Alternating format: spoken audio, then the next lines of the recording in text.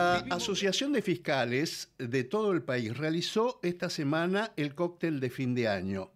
Eh, reunión en la que prácticamente no faltó nadie. ¿eh? Estuvieron presentes el actual Procurador General de la Nación, el doctor Eduardo Casal, el futuro Ministro de Justicia que jurará en las próximas horas, Mariano Cuneo Olivarona, integrantes de la Asociación de Magistrados este, de, la, de, la, Justicia Nacional, jueces, fiscales, federales de todas las instancias. ¿eh? Estamos hablando de casación, estamos hablando de eh, segunda instancia como es la Cámara Federal, hablamos de jueces y fiscales de primera instancia realmente no faltó nadie. ¿eh? Vamos a hablar justamente con el organizador de este evento. Estamos en comunicación con el presidente de la Asociación de Fiscales del Ministerio Público Fiscal. Él además es fiscal federal de Salta, está al frente de la unidad de delitos complejos. Vamos a hablar con el doctor Ricardo Toranzo. Sí, doctor, buen día. Gracias por atendernos como siempre. Qué buena convocatoria que tiene, ¿eh?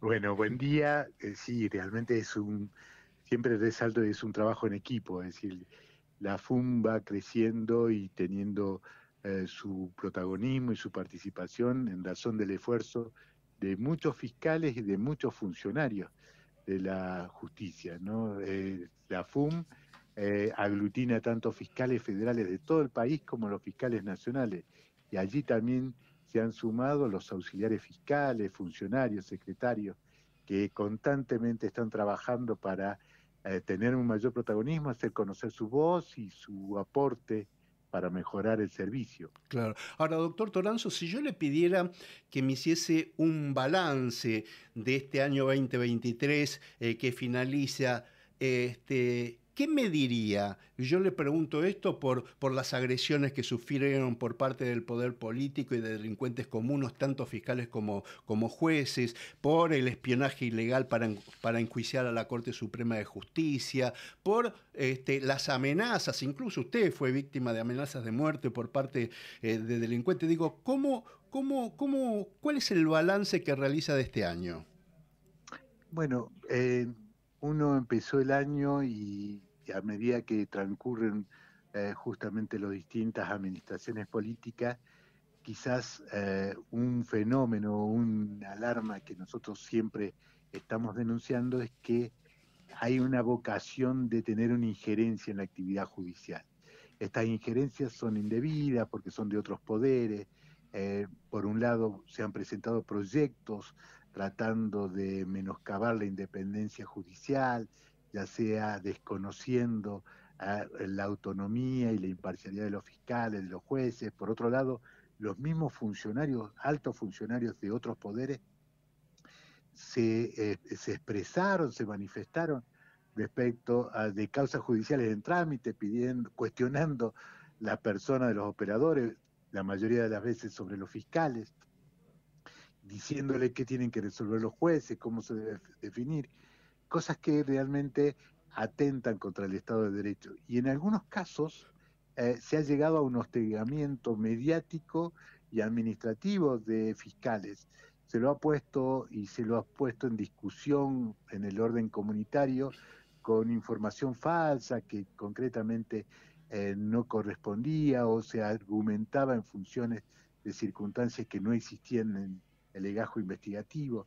Bueno, todas esas situaciones se fueron eh, denunciando y eh, lo que se logró es que el Ministerio Público y sobre todo aquellos eh, magistrados que tenían causas trascendentes puedan desarrollar su tarea en un marco y en un ambiente de riesgo, pero no pudieron torcer justamente su decisión, su convicción respecto de alguna circunstancia delictiva más allá que esté un alto funcionario involucrado o que eh, sea un orden común.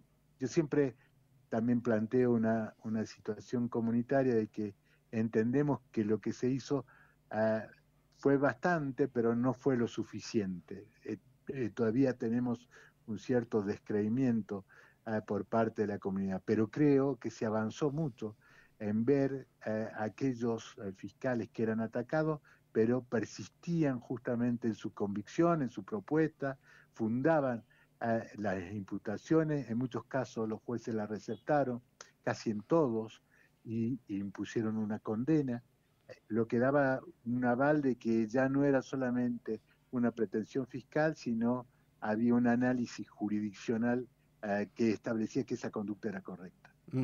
Y, doctor, en, un ratito asumen este, las nuevas autoridades, el nuevo gobierno que este, será por los próximos cuatro años. Al frente va a estar Javier Milei. Eh, ¿Cómo ve la justicia? ¿Cómo, cómo ve los, los anuncios que han hecho este, con el nombramiento de Mariano Cuño Libarona en el Ministerio de Justicia, con el, prestigioso camarista penal, el doctor Marcelo Lucini, como eh, futuro Procurador General de la Nación. ¿Cómo lo ve todo esto? ¿Qué charlan con, con sus colegas? Sí, yo, yo lo que creo es que eh, concretamente uno lo que hace cada vez que si hay un, una nueva, un nuevo juramento de nuevas autoridades del Poder Ejecutivo Nacional, es eh, renovar eh, un poco las esperanzas de que haya un mejoramiento. Lo importante, y creo que es eh, lo que se ha estado viendo en estos días, es de que existe por parte de las personas que van a tomar la cartera de justicia y que se van a involucrar en, en este servicio, es un eh, constante eh, aporte al diálogo. Eh, escuchan, están tomando información sobre cuáles son los inconvenientes, cuáles son las propuestas. Evidentemente ellos después tendrán el poder de resolución, pero hay un ánimo de que por lo menos hay un diálogo constructivo, profundo, sincero, que quiere hacer un mejoramiento. Ya eso es lo que uno ha podido vislumbrar en estos pocos momentos y se irá desarrollando durante el transcurso del mandato. Em, doctor, eh, eh, usted, usted tiene en claro, se lo pregunto porque no sé si tiene opinión formada, pero yo estaba leyendo algunas propuestas que realizan algunas ONG vinculadas a la justicia y decían, bueno, en este cambio de, gobierno lo ideal sería que se designara a un procurador o a una procuradora con un mandato con límite temporal. ¿Usted está de acuerdo con que este, el procurador tenga, no sé, un mandato por cinco años o tiene que ser ah, como ahora, in eternum, mientras dure su buena conducta y, el único límite es la edad? Sí, yo, yo en realidad lo que eh, me gustaría es que fundamentemos por qué queremos cambiar la ley.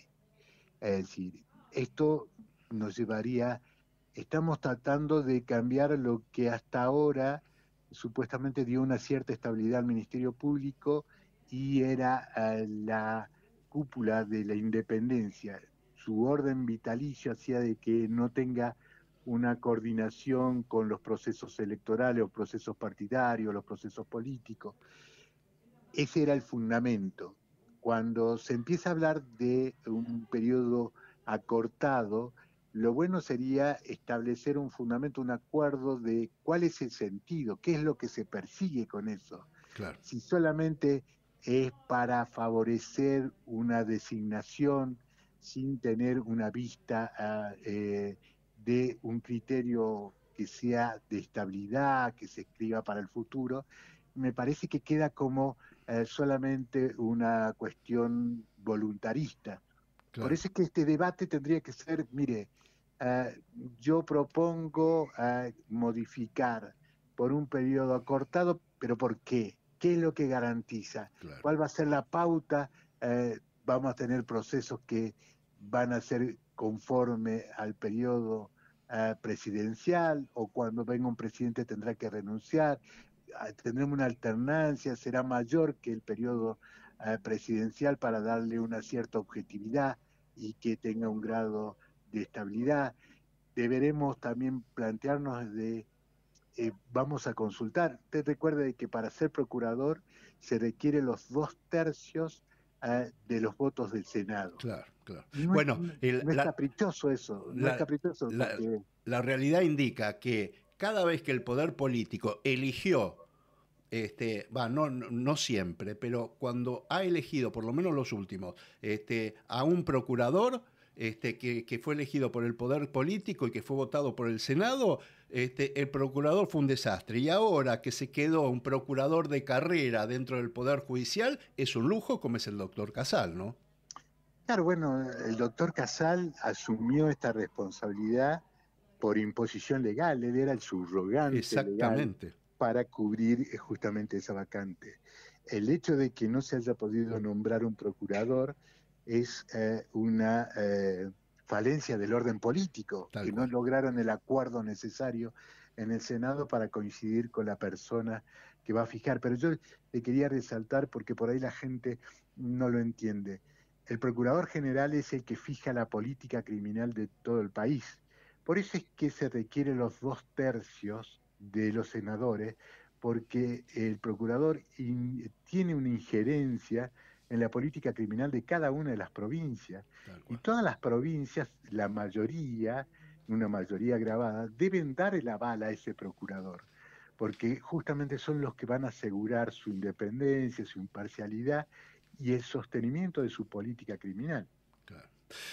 Doctor Ricardo Toranzos, yo le agradezco mucho que nos haya atendido como siempre durante todo el año. Obviamente después de la feria lo vamos a seguir molestando como siempre, este, pero yo le quería, eh, le quería agradecer públicamente, eh, porque usted ha sido siempre muy gentil. Cada vez que lo hemos molestado, nos, nos, da unos minutos para que nosotros lo entrevistemos y nos cuente y nos dé su opinión aquí en, nuestro programa. Este, así que yo realmente le agradezco mucho que tenga un lindo fin de año este, y lo mejor, lo mejor. Me imagino que eh, va a trabajar en la feria o no.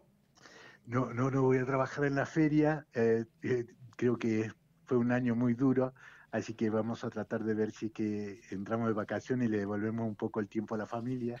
Pero eh, lo que sí quiero eh, señalar que también para nosotros, eh, ustedes, su programa, para nosotros es muy trascendente porque transfieren muchas veces el lenguaje a un lenguaje cotidiano, comunitario, de las cosas judiciales.